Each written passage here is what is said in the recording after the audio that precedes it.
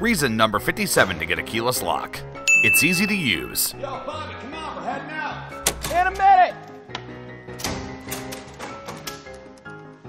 Cornwell's keyless lock, the better option.